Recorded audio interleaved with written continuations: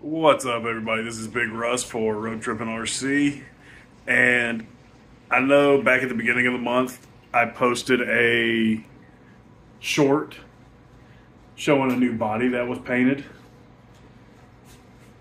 Yeah, that's better. Um, so Fourth of July weekend, I decided that I was going to build a new truck. I haven't even finished my SCX 10. I the body's painted. it looks incredible.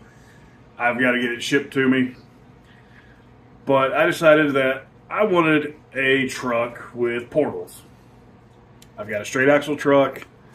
All my 18s and 24s are all straight axle. I wanted a big truck on portals. Now, this truck's not done. I'm waiting on a few miscellaneous pieces of hardware, uh, new drive shafts, because I actually broke a driver off in the screw for my front drive shaft, and I cannot find the rest of that drive shaft now that I have the hardware. I'm also waiting on body mount hardware to come in. So, that being said, I'm about to show you guys the new rig. So, this is my TRX 4 Sport. And in the video, I painted it Duplicolor Shift. Okay. This is change the color purple green shift. Now, I saw a lot of people saying, "Oh, don't use Duplicolor." And you see right here, I got a lot of chipping right there is a lot of chipping. And I got some, you know, uh, all the dirt and stuff, the scratches are from the running video I'm going to put in at the end. But yeah, so I actually love the color. Excuse me. That purple green color shift looks so good on this in person. And See if it'll pick up. There we go. I mean, look how crazy that is. Absolutely insane. I also painted the jerry cans. So, anybody knows the fire extinguisher here? This is the red that these are originally.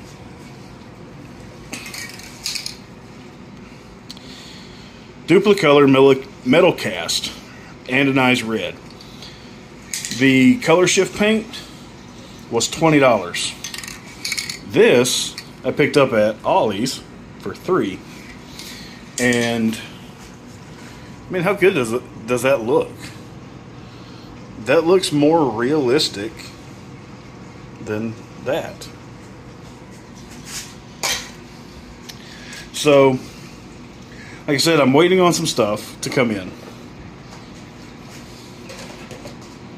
Notice, no body mounts on the rear. That's because they're attached to the truck. All this dirt and stuff is from me just going to play with it a few minutes ago. And as you can see, I'm already missing paint in quite a few spots. And I don't care. Like the truck still looks good.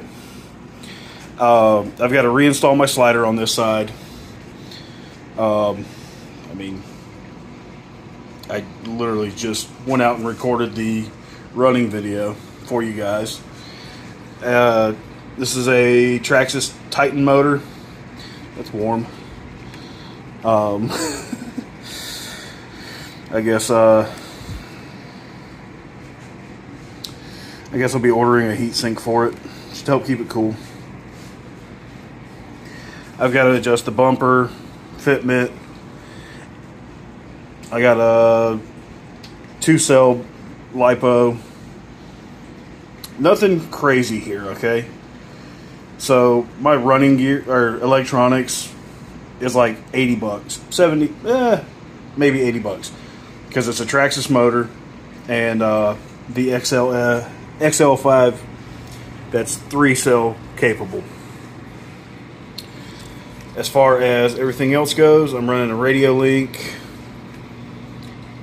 RZFG with the RC6GS V3 controller. It is seven channel.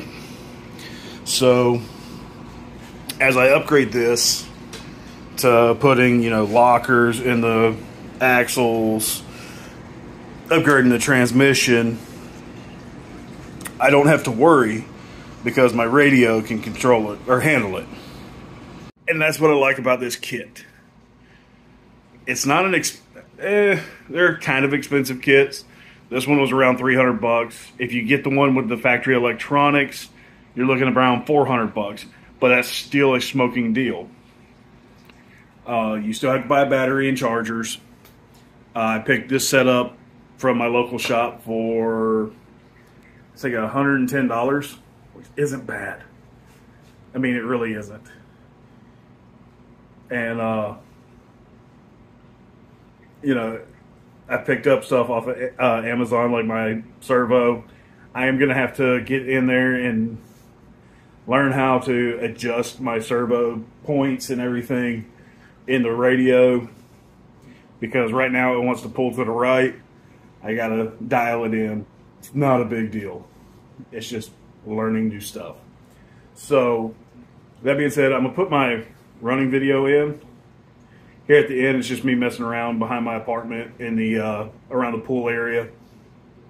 You know, just trying to break these tires in. You know, so that being said, I'm Big Russ. I will catch you guys in the next one, and I hope you enjoyed this build because this was actually a lot of fun, even if my paint job kind of sucks.